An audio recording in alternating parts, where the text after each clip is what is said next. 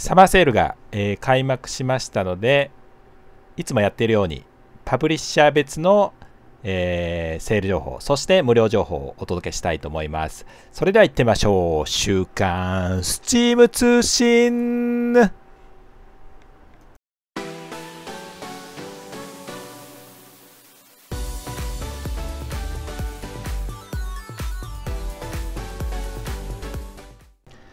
はい、皆さん、こんにちは、こんばんは、ユーロです。いつも、チーム実況チャンネルご覧いただきありがとうございます。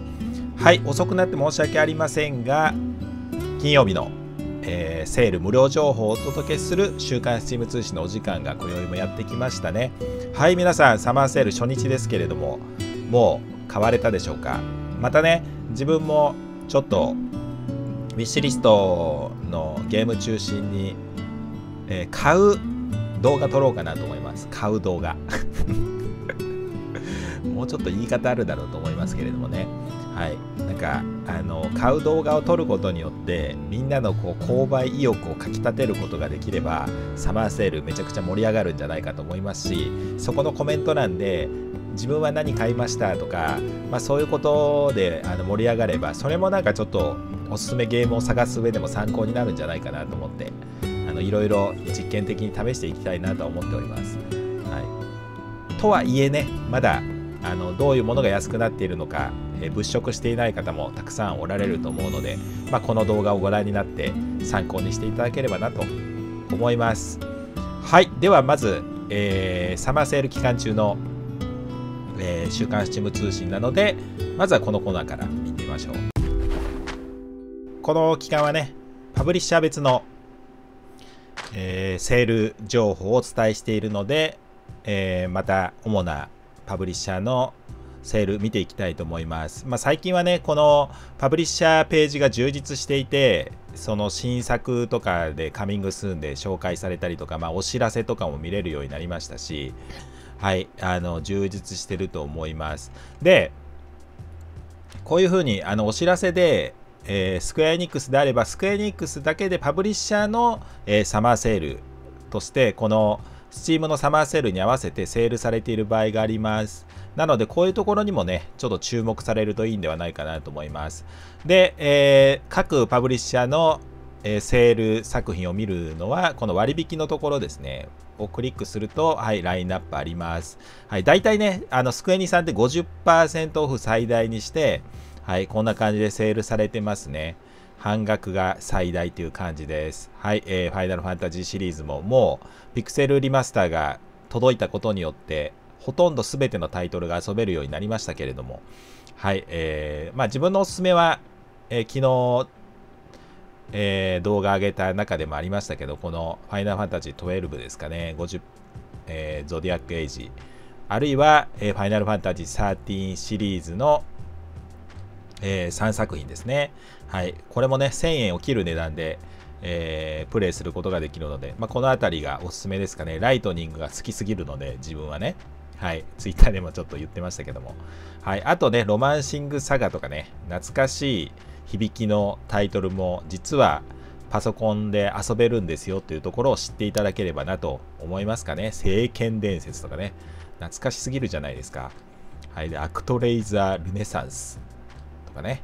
はい。ルネサンスはついてないのか。アクトレイザーが、えースーパーファミコン向けにね、発売されてましたよね。はい。あとはそうですね、トゥームレイダーとか、まあ、洋ゲーも、えーここでラインナップされてますね。はい、シャドウオブとかね。はい、えーライズオブ。まあ、自分はまだね、ちょっとライズオブ途中になってるんですよね、そういえば。なので、あの、なんともプレイとか言えないですけれども、でも、トゥームレイダー1面白かったですからね、まあ、2もやりたいんですけどね、まあ、実質これが2ですよね、ライズオブが。で、えっ、と、シャドウオブが3部作の完結編になってますよね。はい、こんな感じで、えースクエニもね、はい、こうやってセール作品もそうなんですが、近日中リリースがね、割と充実してるんですよね。はい、シミュレーション RPG、新規 IP もありあったりとかね。はい、えーフォースポークンなんかの大型タイトル、そしてドラゴンクエスト10。で、なんといっても、ファイナルファンタジー7、クライシスコアファイナルファンタジーね、まだ新ーページ来てないですけど、あの、あったりとかして、まあ、近日中リリースが充実しているラインナップじゃないでしょうかね。ドラゴンクエスト10もね、あの9月15日に発売日が決定しました。またそのあたりは明日、最新情報でね、お伝えできればと思いますが。はい、こんな感じになっております。で、えっと、ファイナルファンタジーはファイナルファンタジーだけのくくりで調べるよう、調べることができるようになってますね。ここのファイナルファンタジーっていうところをクリックすると、はい、すべてのタイトル、そしてセール金額がね、あの分かるようになっているので、こういうところもね、活用するといいんではないかなと思います。で、えさらにさらにですね、Steam データベースを活用しましょうっていうことを、あの、初めての Steam で言ってたと思うんですよね。サマーセールを攻略しようの回で。はい。で、Steam データベースの一つの活用の仕方として、今ね、これ、スクエアエニックスがサマーセールやってるじゃないですか。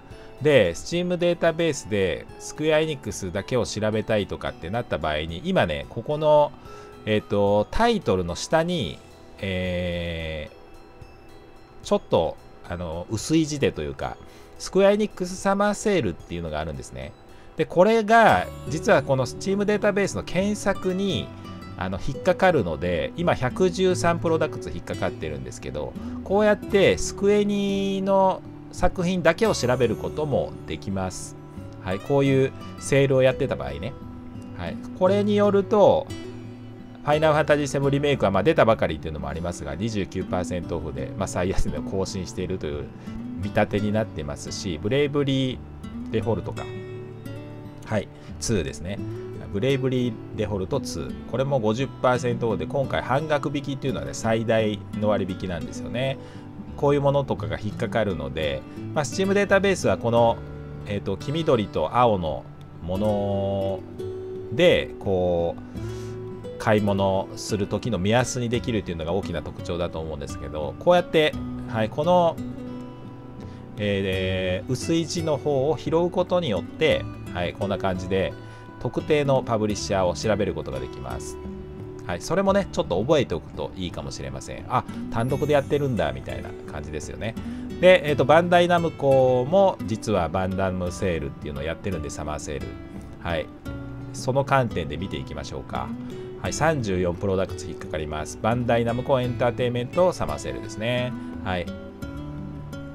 で、えー、テイルズ・オブ・アライズとか、はい、アイドルマスターとか、えー、スーパーロボット対戦の30周年のやつですね。はい。それがそれぞれ50%オフの4389、40%オフの5412、35%オフの6149円と、まあ、この辺りが安くなってますよという結果になってますし、割とバンダムさんね、最安値なんですよ。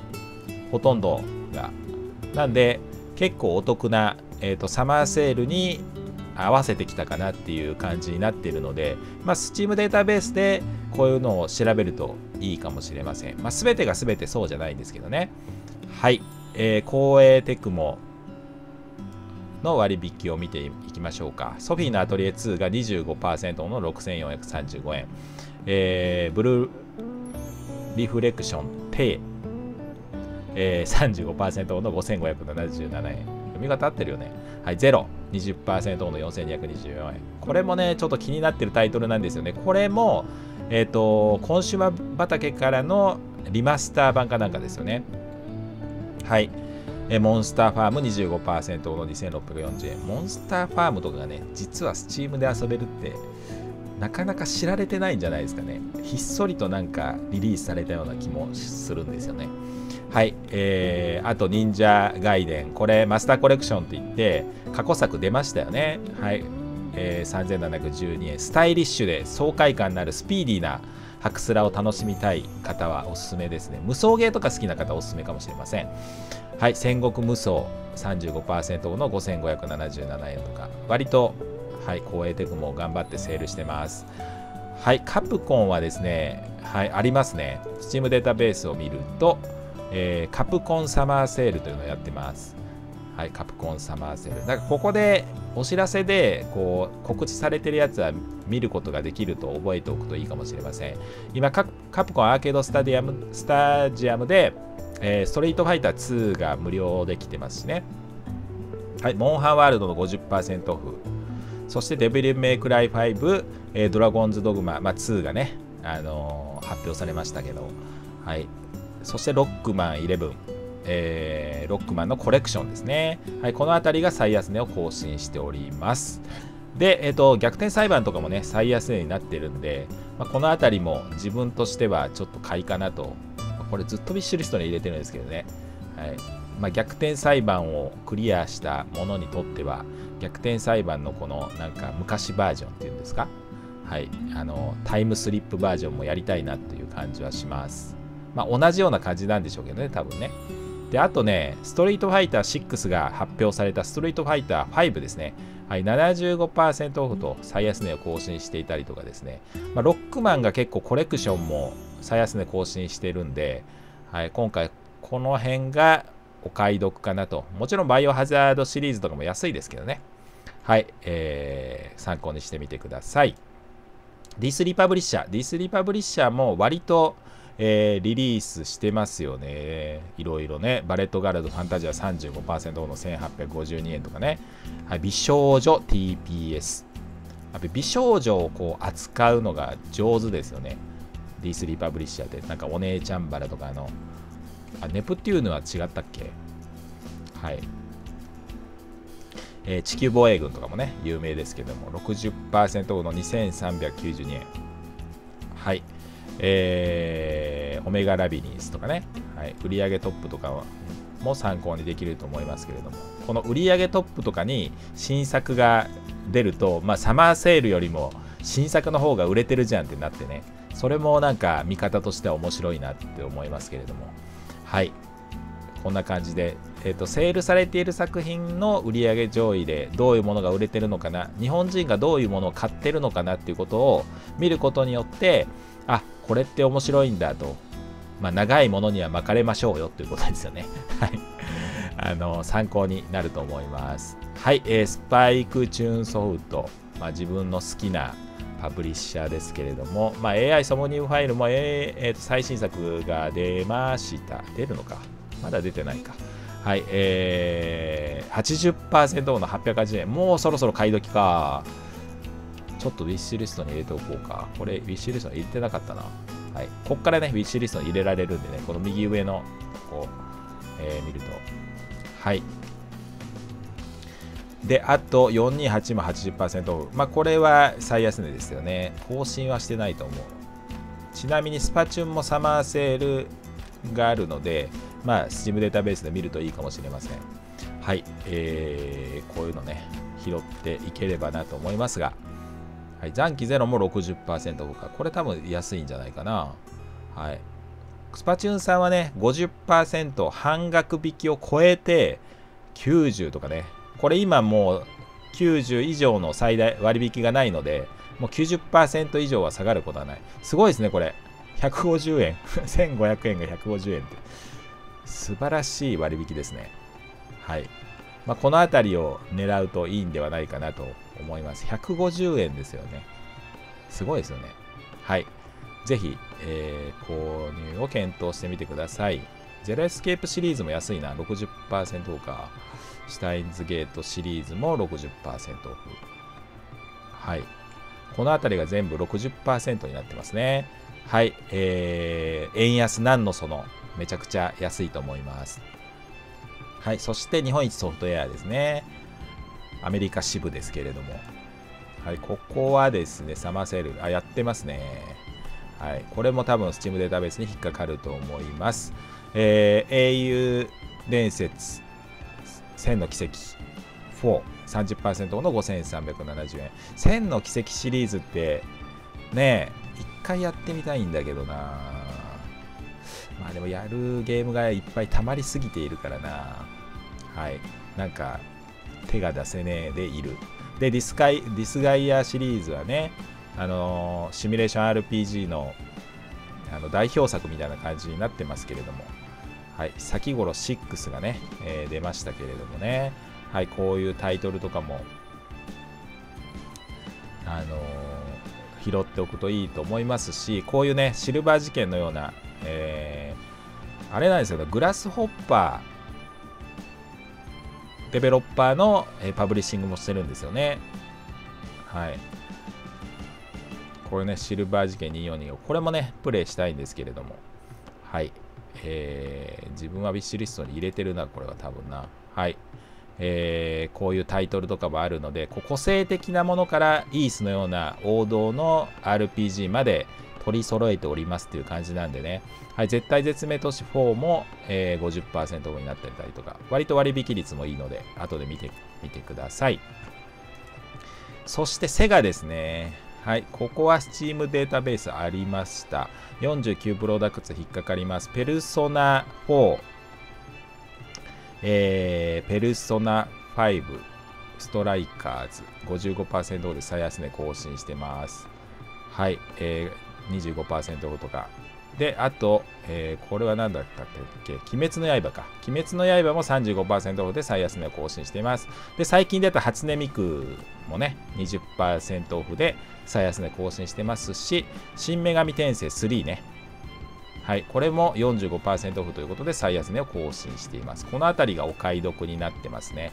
やっぱり Steam データベースいいですよね。お買い得が結構わかるっていうね、え、特徴がありますよね。で、ペルソナに関してはね、3、4、5、まあ4はゴールデンは出てるんですけど、3と5も Steam で出ることが決まっているので、はい、そのあたりも、え今後狙い目になってくるのではないでしょうか。あとソニックとかもね、えー、フロンティアが、えー、2022年中に出る、12月ぐらい出るのかな。はい、リリースされることが決定しているので、またそのあたりソニックも注目されるでしょうね。はい、えー、戦場のバルキリアとかね、80%オフ。はい、なってます。そして、えー、プレイズムさんですね。好きなパブリッシャーですけれども、はい、ここもね、割引率がいい感じになってます。持ってるな、ありがたいな。持たせてもらってるって感じですけど、ありがたいですね。はい、えー、労働総選挙20%、1760円。うん、ストえー、オレンジブラッドですね。ごめんなさい。オレンジブラッド60%の799円。安いですね。はい、ウィル。あ、ウィルも今回21%これ最安値更新してますね、多分。ウィルはなかなかね、えー、18%とか、そういうところを攻めてたんですけど、今回20%超えましたね。1169円。はい、安いと思います。これはね、面白いんですよ。神様視点になって、手紙の内容を入れ替えて、こう運命を変えていくえーと、テキストベースのアドベンチャーゲームで渋谷428とか似てるのかな？はい。そういう、えー、アドベンチャーゲームですけれどもね。はいサムライブリンガーもこの間紹介させていただいて出たばかりですが20%オフになっていたり、まあ、芋の花も20%オフですね。これも紹介しましたよね。黄昏に眠る街30%オフですね。これも紹介させていただきましたが。はいえー、なんかこう懐かしいなって思えるようななんかこう日本人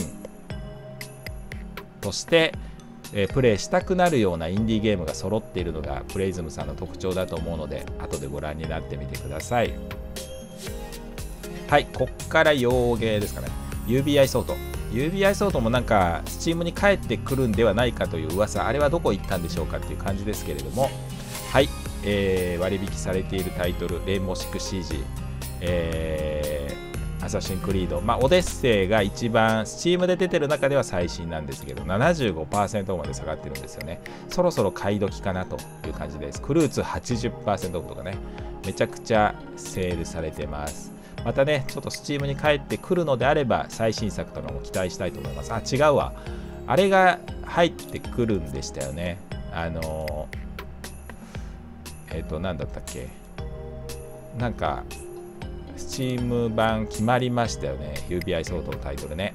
はい、えー、楽しみにしたいと思います。で、Xbox とベセスダは、これ実は、えー、Steam データベースで、えっと、Xbox ベセスダインザサマーセールということで、またこの2つが共同してね、セールしてるんですけど、まあ、その中では、えっと、ゴーストワイヤー東京、えー、Age of Empires 2、えー、ホルツァホライズン5、エイジオブエンパイア4が、えー、最安値を更新しています。で、以下、こんな感じで最安値になってますね。はい。Xbox もね、えー、6月、今月か発表されたんで、近日シリーズ、まあ、まだ1つだけですけれども、充実してますよね。またそのあたり動画撮ってますし、あのサイトにまとめてるんで見ていただければと思いますけれども、はい、えー、なかなかの Xbox 畑のラインナップになってますよね。マイクロソフトさんはね、どのプラットフォームでも人が集まるところでリリースしますよと。それが Steam ならば当然 Steam でも今後もリリースしていきますみたいな話をシャッチョさんがしてましたもんね。はい、シャッチョさんが。はい、なんで、えー、まあ、期待という感じですかね、これからもね。はい、ベセスダも、はい、ね、スターフィールドがね、えー、実機プレイあったりなんかして、ちょっと期待高まりますけれども、はい、えー、エルダースクロール6はどこ行ったんだと。嘆きたくなりますけれども、情報がなさすぎて、はい、フォールアウト5をね、あの作ってますよみたいなことを言ってますけれども、はい、フォールアウト4が60%の898円、1000円を切る値段ね。で、えっ、ー、と、エルダースクロール5ですね、スカイリム67%オフ、で、スループ60%オフと、はい、なってます。まあ、そのあたりは、Steam データベースを見ていただくと分かるんではないかなと思います。で、えっ、ー、と、EA ですね。ここもね、めちゃくちゃ割引率高いんですよね。75%とかね、清水法。500円で買えるとかね。もともと単価安いのに、さらにセールされてるんですよね。タイタンフォール2に至ってはもう480円ですよ。84%後の。安すぎでしょと。で、今回ね、バトルフィールド最新作2042が半額になってるんですよ。4350円。まあ、いろいろ賛否あると思いますけれども。はい。頑張ってますね。はい。バトルフィールドシリーズは、え、過去作相対的に安いですかね。70%オフとかになってるので。はい。そのあたりが狙い目ではないでしょうか。で、アリスもね、復活したんですよね。一回消されたんですけど。はい。グリムは復活してないのか。アリスは復活したのか。はい。なんかそういうニュースありましたよね。60%の760円です。はい。で、プレイステーションスタディオズはスパイダーマンのね、ページが来ましたけれども、これスパイダーマンって確か、えー、8月ですよね。そうですね。8月12日リリースされますけれども、まあ、どんどんどんどんここに入ってきますよね。はい、えー、セール作品としては、ゴッド・オブ・ウォーがね、20%オフの3920円。これはまあ動画で紹介させていただきましたが。で、ホライゾンゼロドーンが50%オフの2450円。デイズ・ゴーンが50%オフと半額引きになってます。プレデターで60%オフまで下がってますね。このあたりが。狙い目ではないかなと思います。はい、そして 2K はですね、チームデータベースを見ると、2K タイトルズなんたらかんたらかんたらかんたら、えー、セールということで、まあ、2K タイトルズと検索すると、えー、40プロダクツ引っかかりますね。まあ、その中ではマフィアとかがね、67%で、67%オフで最安値ですかね。はい、更新しているのは、あ、これはローンチセールかな？タイニーティナの。あ、違う。これは、そうですね、6月23日なので、ローンチセールですよね、20%最最安値ですね。まあもちろん、リリースされたばかりなので、必然的に最安値になりますよね。はい、こんな感じで、えー、2K も Steam データベースで調べることができます。で、ロックスターゲームスは、えー、グランドセルトオート5はこれ割引してんのかな？あ、64%オフ。2121円。めちゃくちゃ安いな。はい。レッドデッドディレクション2。半額。4309円。はい。えー、この辺りが狙い目ではないかなと思います。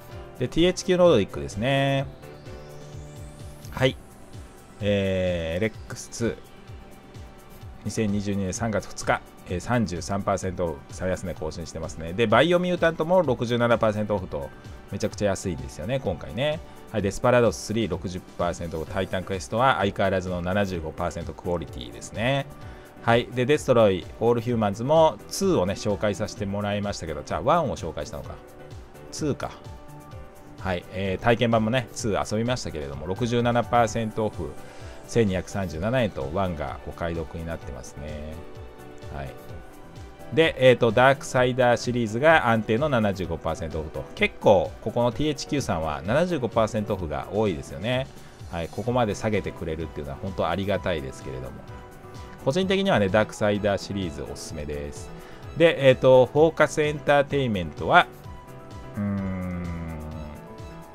ここはですね、プラグテイル、イノセンスが80%まで下がってます。で、えーと、スノーランナーが40%ほどが、まあ、この辺りが狙い目になってきますよね。サージも安いですね、75%両。両方、1も2も75%オフ。はい。だったりしますかね。はい。あとはダウンロードコンテンツとかがセールされていたり、フィアーザウルブス、87%オフの75円。75円でゲーム買えるんかいみたいなね、ことも言っておりますけれども。はい、この辺りが狙い目だと思います。まあ、後でね、またじっくり見てくださいね。はい、えー、リボルバーデジタルですけれども、まあ、ここも個性的な作品多いですよね。はい、インスクリプション、圧倒的に好評の、えー、サイコロジカルホラーをベースにしたローグライトですね。デッキ構築のローグライトですね。はい、えー、30%ほどで、今回多分最安値更新してると思います。で、ループヒーロー。はい、これもローグライクで流行りましたよね。はい、67%オフの501円。これも動画で紹介させてもらいましたが、はい、この辺りが、えー、セール作品としては安いですかね。キャリーオン50%オフ、刀ゼロ40%オフ。で、売れてるものとしては、やっぱりこの辺りが来るんですね。はい、デスズドアも50%オフでめちゃくちゃ安い。あ、ライブやってんのか、今。はい、えー、安くなってますね。刀ゼロもすごい人気ですよね。セールされると絶対売上上位に入ってくるという感じになってますね。ループヒーローはまあ一通り売れたのかな そんな感じはしますけれどもね。で、えっ、と、今年出たばかりのシャドウウォーリア3が半額引きになってるんですよ、なんと。2450円と。まあ、この辺りも狙い目だと思います。はい、そして最後、パラドゲーですね。パラドックスインタラクティブ。はい、ここもコンスタントにストラテジーゲームを出していて、ストラテジーゲー好きにはたまらない感じですけれども。はい、えー、シティスカイライン安定の75%クオリティです。はい、以下、まあ、こんな感じのラインナップですね。はい。まあ、バンドルとかでね、シティスカイライン、だからハンブルバンドルのバンドルとかでもありましたしね。あの持っておられる方いっぱいいるかもしれませんが、はい、ステラリスが今一番売れてますね。日本語対応したからでしょうね、多分ね。75%の1097円と。はい、だからこういうこう日本語対応してなくて買い控えしていた人がセールで75%オフになって一気に買うと、まあ、1000円そこそこで買えたら絶対お得ですよね。はい。以上、ちょっと足早になってき申し訳なかったですし、まあ、このパブリッシャー以外にもいろいろパブリッシャーあるんですが、まあ、主なパブリッシャーはこんな感じですかね。はい、またなんか個人的に、えー、おすすめのパブリッシャーとゲームがあったらコメントで教えていただければなと思います。はい、えー、まず、えー、週末無料プレイですねは、えー、1作品ありますプライムサイトが、えー、3日間ね、週末遊ぶことができて、えー、サマーセール期間中33%の1470円で購入することができます。これはちょっと生放送でもね、プレイしましたけれども、あのー、犯人とね、被害者をいち早く当てる、えマルチプレイのゲームで、まあ、この手のゲームで結構挑戦的というか、ね、あのー、新しい感じですよね。マルチにするっていうのがね。はい。まだちょっとね、編集が追いついてないんですけれども、また動画上げたいと思いますが、はい。この作品が今、週末無料プレイが来ています。ぜひ遊んでみてください。そして、え、っと、登録無料ですが、えー、テルミーワイが、えー、相変わらず6月中もらえます。まだもらってない方、はい、ぜひ、えー、もらってください。そしてカプコンアーケードスタジアムより、えー、言ってましたけれども、スト2がね、えー、もらえます。はい、これもまだずっとやっているので、えー、忘れずにゲットしてください。そして外部サイトなんですけど、えっ、と、ファナティカルがですね、このリベンチャーをなんか無料配布してたんですよね。でも、もう、えー、今回はちょっともう売り切れてしまったってなかなかねやっぱファナティカルでこういうのをやることがあまりないのでね目ざとくあるっていうのは難しいですけれどもまあトップページとかにね載ってたのかもしれませんが自分もスルーしてましたまあこれは100通りのエンディングがあると言われているえっ、ー、とねドット A タイプのアドベンチャーゲームアクションゲームですけれどもこれもね、動画上がってるんですけどね、自分のチャンネルに。はい、また見ていただければと思います。そして、えっと、インディガラからは、フラインザハウス。はい、この作品はですね、2015年3月6日、賛否両論のシミュレーションゲームになってますね、インディ。はい、えー、サマーセール期間中441円なんですけれども、はい、えー、このゲームは物を投げてハエを撃退するゲーム。だけどちょっとハエの気持ちも考えるゲーム。ハエの撃退に夢中になりすぎるとありますけれども。はい、えー、このゲームが今、インディー柄で無料で遊べます。そして、えっ、と、相変わらず豪華ですよ、エピックゲームズは。はい、ゲームスローンズ。ゲームオブスローンズか。はい、えー、このバージョンですね。2020年10月6日やや好評の、えー、サマセル50%オフの1240円で買えるこのゲームが、えー、まあ、ボードゲームのデジタル版みたいな感じですかね。はい、えー、このゲームが遊べます。そしてもう一つ、カーメカニックシミュレーター2018も遊べます。はい、これも話題になりましたよね。圧倒的に好評の評価が示すように、評価の非常に高い乗り物シミュですけれども、えー75%オフの495円。この作品も無料で遊べます。インターフェース字幕日本語あります。はい。面白いですが、FPS 視点なので 3D 酔いをお持ちの方は無理せずお楽しみください。無理せずお楽しみくださいって書いてますけどね。はい。この作品も今、エピックゲームズで遊べます。で、えー、ここから外部サイトのお得情報なんですが、まずファナティカルね、あのー、多分皆さんこう、いろいろ、あのー外部サイトでゲームを買うのに抵抗のない方は割とこういうサイトでこう安くなっているものを調べてそしてより安いものを買うっていう思考になってると思うんですね、サマーセール期間中。そういう意味では、まあ、ゴッド・オブ・ウォーなんかね、3283円で、まあ、スチームで買うと今3920円なので、700円近く安くなってるんですよね。なんで、そう考えると、ゴッド・オブ・ウォーはあのファナティカルで買った方がいいしこのホットディール売れているゲームの中にこのバンドルなんかを差し置いてゴッド・ウォーが入っているのはなんかわかる気がするなという感じします、まあ、こんな感じでえファナティカルも利用するといいんではないかなと思います。サマーセル期間中特にね。はい。そして、えっと、ハンブルバンドルですがタリスマンのコレクションということでなんと30アイテムが10ドルで買えると。で1ドルでタリスマンが買えるんですけど、まあ、これに関しては特にそこまでお買い得ではないかなと。今ねタリスマンね、えー、スチームでもね144円で買えるんですよ。ほぼ同額かなっていう感じですよね。はい、ただダウンロードコンテンツ30アイテムを買おうとすると多分1000円以上かかると思うんで、はい、その辺はこっちを買うといいんではないかなと思います。はい、そしてですね、ダイレクトゲームズで1周年記念キャンペーン28日までやってるんですけれども、これもね、さっき言ったファナティカルと同じような比較をするといいんではないかなと思います。例えば、スーパーフォットですと850円じゃないですか。えっと、スチームですと、えー、992円なので、若干安めなんですね。150円ぐらい安いんで、まあ、こういう、もし、あのー、本当により安いものを購入したいのであれば、はい、こうダイレクトゲームズのまずこれ閲覧してちょっとやりたいなって言ったも思ったものの金額を調べるといいんではないかなと思います。ぜひね、こういう活用の仕方もしてみてください。そして、まあ、外部サイトのお得情報で言えば、まあ、あの、ツイッターとかでもね、あのー、スチームサマーセールっていうハッシュタグがあって、まあ、そこでみんなこうやってレビューしてる人がいるんですよね、画像付きで。まあ、こういうものをいいねしておいて、後でちょっとおすすめの参考にするのもいいのではないかなと思います。自分もね、いつもこんな感じで、えー、ファボして、残して、そしてゆっくり見てるんですけどね、まあ、割とこう丁寧めに皆さん調べていて、これなんか1万4000のファボついてますからね。はい、こういうのにこう目ざとくあって、はい、金額も書いてくれてるので、Twitter も有力なおすすめゲームを探す情報源になるんじゃないかなと思うので、こういうのも活用するといいかもしれません。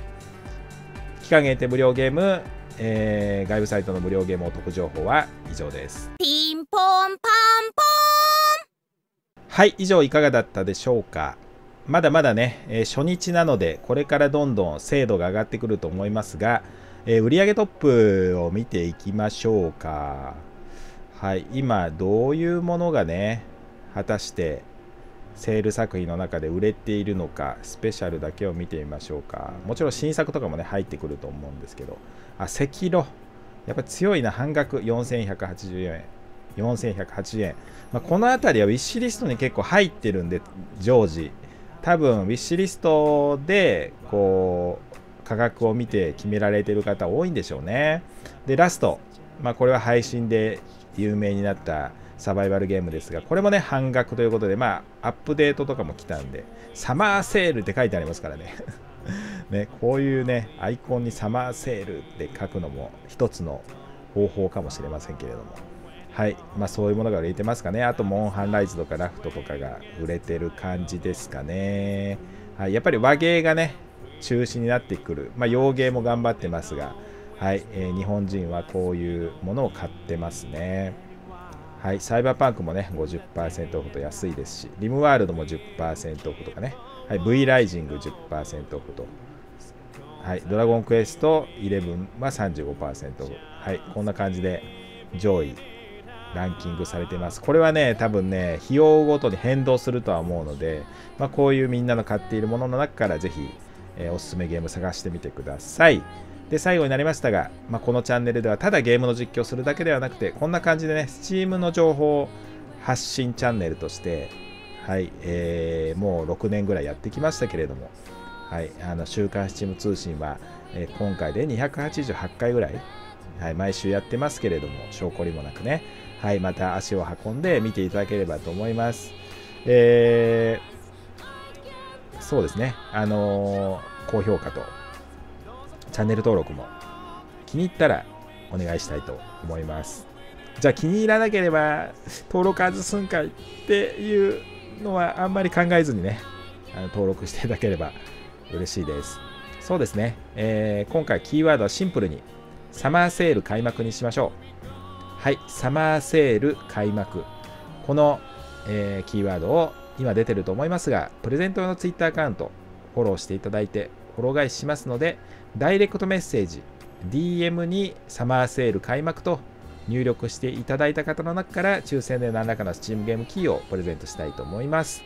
明日中締め切り、日曜日配布にさせていただきますので、どんどんご応募ください。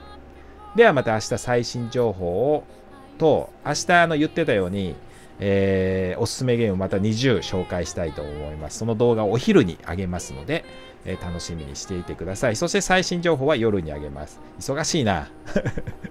金額も更新しないといけないし、そうそうそう。ね、あの、おすすめサマリーとか動画とかでね、あの、まだちょっと価格の更新が間に合ってなくて、えー、ちょっと申し訳ないんですけど、絶対サマーセル期間中までには終わらせますので、えー、ぜひそのあたりも、えー、見ていただければと思います。まあ、ツイッターでね、告知します。価格更新したら。まだツイッターで告知していない記事とか動画に関しては、まだ、えー、更新してないので、ちょっと間違えないようにしていただければなと思います。